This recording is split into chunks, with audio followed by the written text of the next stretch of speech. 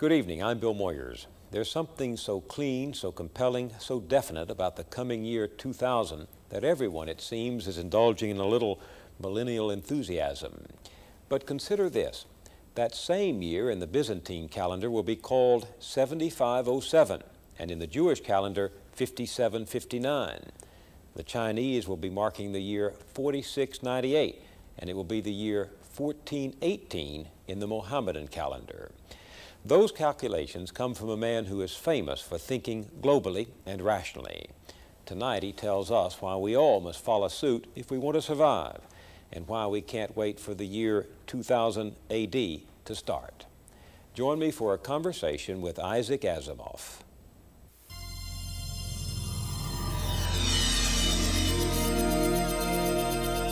This program is made possible by a grant from the John D. and Catherine T. MacArthur Foundation. A World of Ideas with Bill Moyers. Isaac Asimov. Whatever you've read, you've probably read something of his. Science fiction, of course. His Foundation series is a classic. Science fact, chemistry, astronomy, physics, biology, children's books, history, math. One scientist calls him the greatest explainer of the age. The American Humanist Association has named Dr. Asimov the Humanist of the Year, and some religious folk have considered him the incarnation of the devil.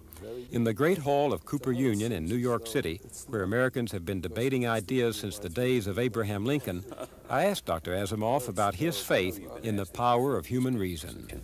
Are you an enemy of religion? No, I'm not.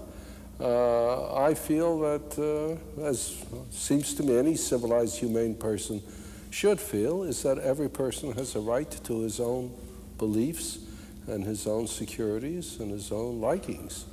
Uh, what I'm against is attempting to place uh, a person's belief system onto the nation or the world generally. Uh, you know, we object because we say constantly that the Soviet Union is trying to dominate the world, communize the world. Well, you know, the United States, I hope, is trying to democratize the world. But uh, I certainly would be very much against trying to Christianize the world or to Islamize it or to Judaize it or anything of the sort. And my objection to, the, to fundamentalism is not that they are fundamentalists, but that essentially they want me to be a fundamentalist too. Now, I can imagine they object. They say, I believe that evolution is true, and I want everyone to believe that evolution is true. But I don't want everyone to believe that evolution is true. I want them to study what we say about evolution, decide for themselves. Now, they say they want to teach creationism on an equal basis, but they can't. It's not a science. You can teach creationism in the churches, in the uh, courses on religion. I mean, they would be horrified if I were to suggest that in the churches they teach secular humanism as an alternate way of looking at the universe. So they teach evolution as an alternate way of considering how, the, how life may have started. Uh, in the church, they teach only what they believe, and rightly so, I suppose. But on the other hand, in schools, in science courses, we've got to teach what scientists think is the, is the way the universe works. But of course, this is what frightens uh, many, many believers. They see science as uh, uncertain, always tentative, always subject to revisionism. They see science as a complex and chilling and enormous uh, universe ruled by chance and, uh, and impersonal laws. They see science as dangerous.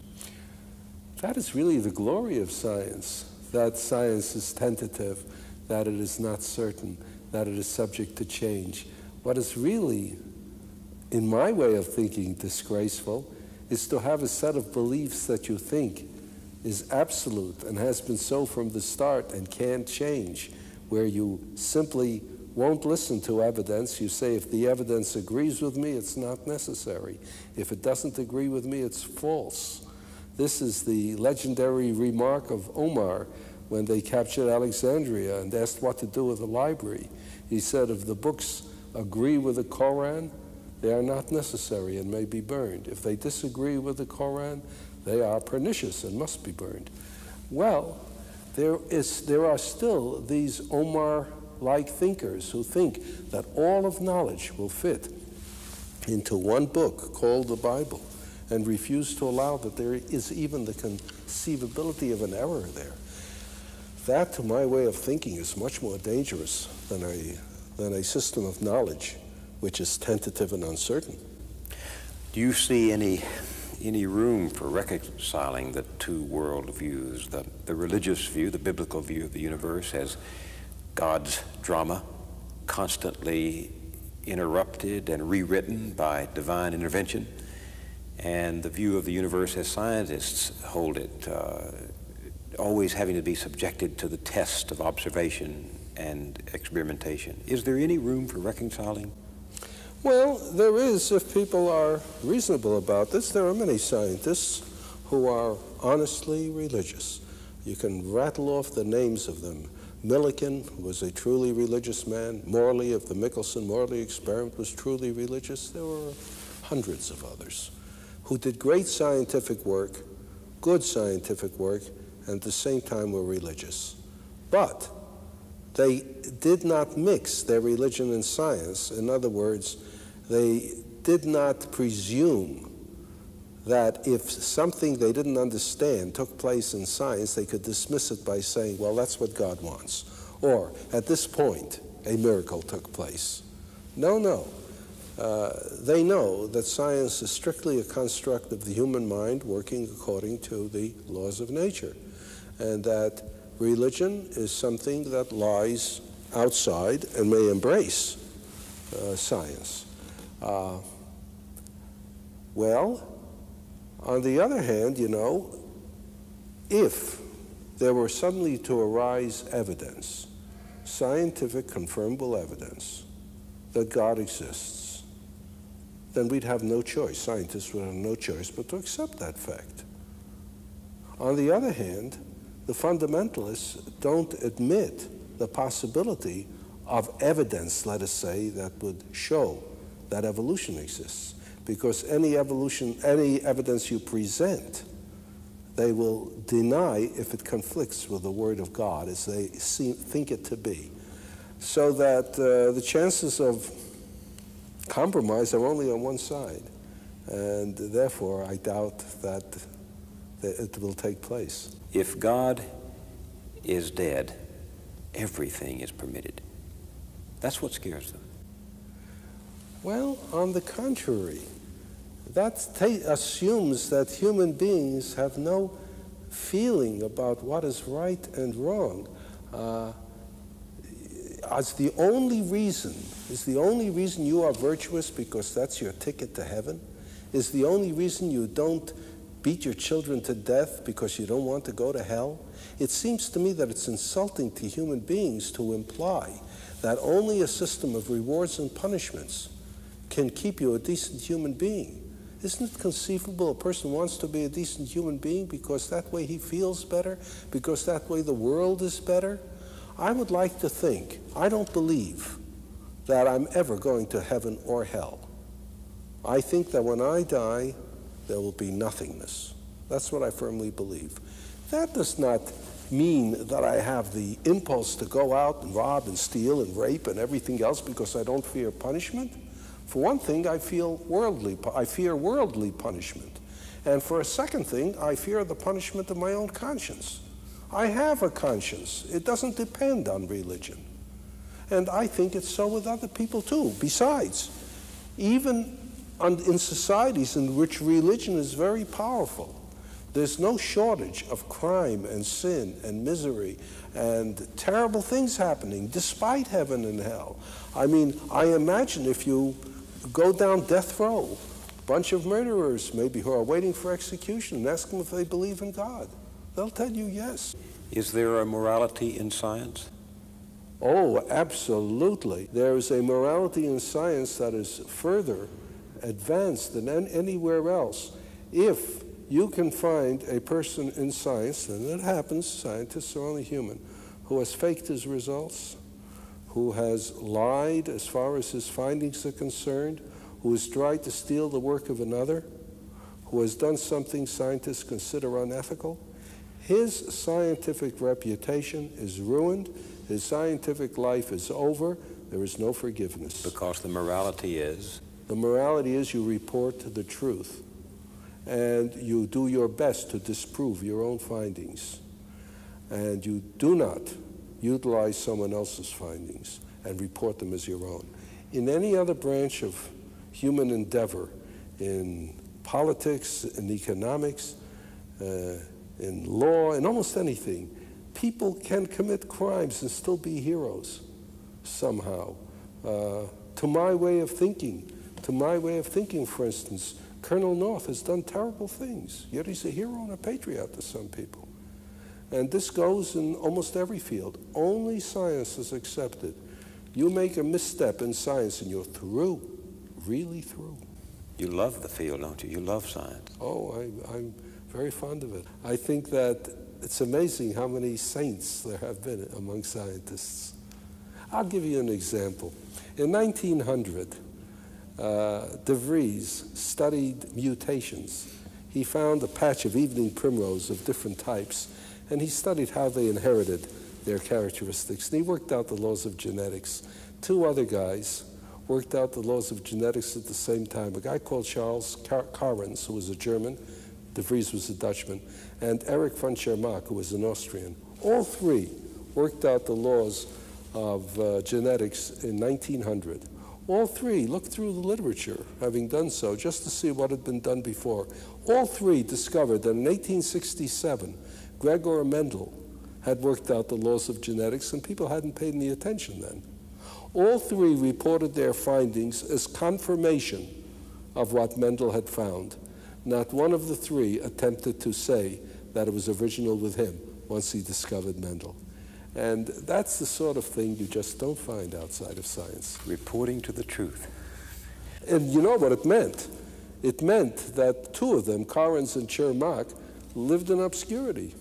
And uh, De Vries is known because he also was the first to work out the, the theory of mutations. But as far as discovering genetics is concerned, Mendel gets all the credit. And they knew at the time that this would happen, but they did it. It is the truth that excites you. So, what is the value of science fiction? Aha. for which you are Well- justifiably universally known. Okay, let's look at literature as a whole. Uh, fiction, uh, just any kind of fiction. I think that serious fiction, fiction where the writer feels he's accomplishing something besides simply amusing people, but there's nothing wrong with simply amusing people. But if he thinks that he's doing something besides simply amusing people, what he's doing is holding up a mirror to the human species, making it possible for you to understand people better because you've read this, the uh, novel or the story, maybe making it possible for you to understand yourself better. This is an important thing. Now, science fiction uses a different, a different uh, method for doing this. It works up an artificial society, one which doesn't exist, one which may possibly exist in the future, but not necessarily. And it portrays events against the background of this society. Well, it's amusing, it's interesting, but in the hope that this will give a new way of looking at people, at looking at yourself, that you will see yourself seen against this strange society in ways you couldn't possibly see yourself seen against the present society. I don't claim that I succeed at this. It seems to me that to do this properly takes a, a great man, you know, takes a guy on the level of, of, well, at least half of Shakespeare. And I don't come up there. But I try. And who knows, maybe once in a while I succeed a little bit. But I try. And that's why I write science fiction, because it's a way of writing fiction in a different style and enables me to make points I can't make otherwise. Someone said that uh, one great advantage of science fiction is to introduce the reader to the idea of change. of changes that may well be inevitable, but which are not conceivable to the reader? Well, I've said that myself on different times. Uh, the fact is that society is always changing, but the rate of change has been accelerating all through history for a variety of reasons. One thing, change is cumulative. The very changes you make make it easier to make further changes. It was only with the coming of the Industrial Revolution that the rate of change became fast enough to be visible in a single lifetime, so that people were suddenly aware that not only were things changing, but they would continue to change after they died. And that was when science fiction came into, into uh, being, as opposed to fantasy and adventure tales. Uh, because people knew that they would die before they could see the changes that would happen in the next century, so it would be nice to imagine what they might be. And other people decided to make money that way. Well, as time goes on and the rate of change still continues to accelerate, it becomes more and more important to adjust your what you do today with the fact of change in the future.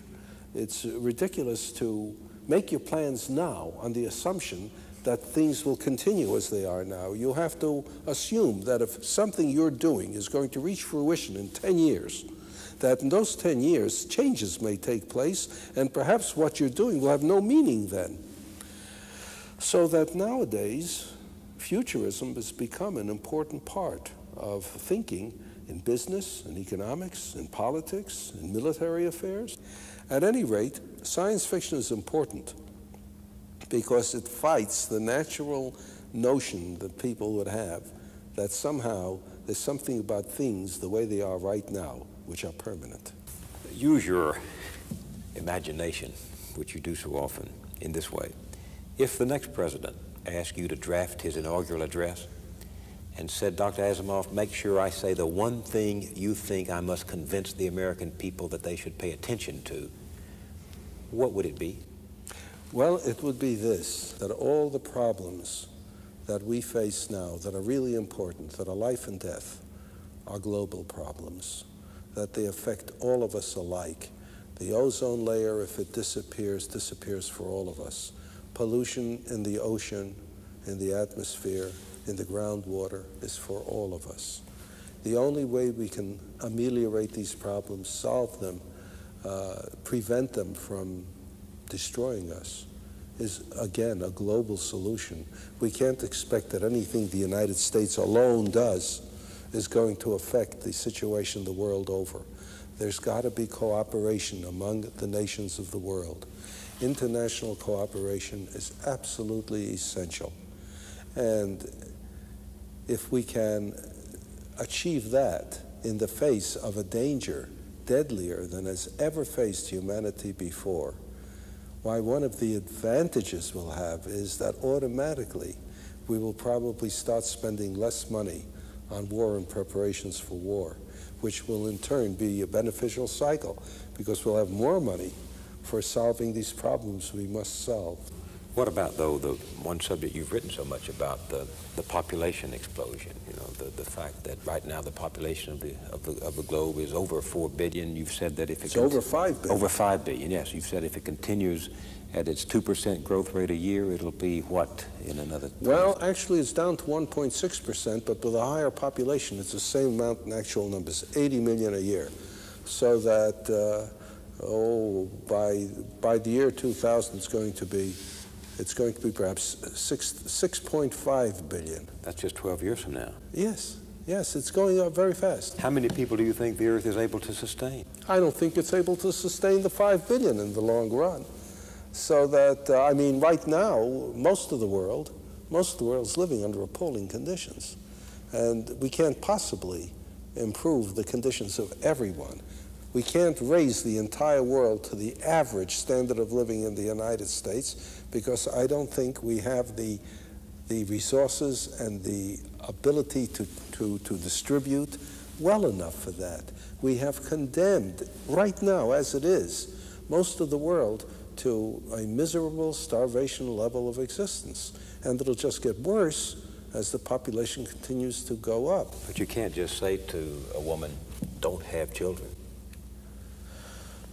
Well, you know, it's not so much that. It's so many people are saying have children. There is such a pro-natalist attitude in the world. Uh, we celebrate Mother's Day so enthusiastically. We, we say, may all your troubles be little ones. We, we celebrate additional children. Uh, uh, I feel sometimes that if we'd only stop pushing for children, that somehow there would be fewer of them. Why did you say that the price of survival is the equality of women? Because if women have full ability to enter into all facets of the human condition, if they can enter business, if they can enter uh, religion, science, government on an equal basis with men, they will be so busy that they won't feel as, as necessary to have a great many children. As long as you have women under conditions where they don't feel any sense of value, no self worth, except as mothers, except as baby factories, they'll have a lot of children because that's the only way they can prove they're worth something. In general, if you look through the world, the lower the status of women, the higher the birth rate. And the higher the birth rate, the lower the status of women. So that if you could somehow raise the status of women, I am certain the birth rate will fall drastically through the choice of the women themselves. What do you see happening to the idea of dignity, to human to the human species if this population growth continues at its present rate? It's going to destroy it all. I use the, I use the what I call my bathroom metaphor. If two people live in an apartment and there are two bathrooms, then both have what I might call freedom of the bathroom. Go to the bathroom anytime you want to and stay as long as you want to for whatever you need. And this, to my way, is, is ideal. And everyone believes in the freedom of the bathroom. It should be right there in the Constitution. But if you have 20 people in an apartment and two bathrooms, no matter how much every person believes in freedom of the bathroom, there is no such thing. You have to set up you have to set up times for each person. You have to bang at the door, aren't you through yet? And so on. And in the same way, democracy cannot survive overpopulation. Human dignity cannot survive it convenience and decency cannot survive it. As you put more and more people onto the world, the value of life not only declines, but it disappears. It doesn't matter if someone dies. Of course, so many people say, well, the United States is bringing its population under, under control, that our, we're going to have a stable population. We're not even reproducing ourselves, and what the rest of the world does, we can't control. The population in the United States is still going up. The only time it went up really slowly was during the Great Depression when there were no laws sort of lowering the birth rate. There was just an economic depression which made people think twice before they had children. Uh, but the United States is doing something else, which is absolutely refusing to help other nations control population. So that our feeling is somehow that it's enough for us to somehow make sure that the United States is in good shape, and what other nations do is their business. It's not their business, it's our business too. In other words, we can't exist uh, as a stable economy and a stable society if around us is turmoil, chaos? Absolutely not. Right now, in many nations, they're, they're just destroying the rainforests because they need the, the firewood, they need the space for farms. Why should I care about that? Because without the rainforests, we're going to have deserts instead. The food supply will dwindle. As a matter of fact, there's even the possibility that we're going to lose all kinds of valuable substances we know nothing about. Those rainforests have an incredible number of species that, of plants and animals that we know very little about. Some of them may, be, may produce uh, chemicals of great importance pharmacologically and medically. Uh, some of the plants might, if properly cultivated, be new, life, new food sources. And in addition to that, nothing produces the oxygen of the atmosphere with the same intensity that a forest does. Anything that substitutes for it will be producing less oxygen. We're going to be destroying our atmosphere too. You're how old now? 68. You've lived through a lot of this century. Have you ever seen human beings think with the perspective you're calling on them to think now? Well, it's perhaps not important that every human being thinks so. Uh, how about the leaders thinking so? How about the opinion makers thinking so? Ordinary people might follow them if we didn't have leaders who were thinking in exactly the opposite way. If we didn't have people who were shouting hatred and suspicion of foreigners, if we didn't have people who were shouting that it's more important, it's more important to be unfriendly than to be friendly, if we didn't have people shouting somehow that the people inside the country who don't look exactly the way the rest of us look, or something's wrong with them. Again, again, it's almost not necessary for us to do good. It's only necessary for us to stop doing evil, for goodness sakes. From the Great Hall at Cooper Union in New York City, this has been a conversation with Isaac Asimov. I'm Bill Moyers.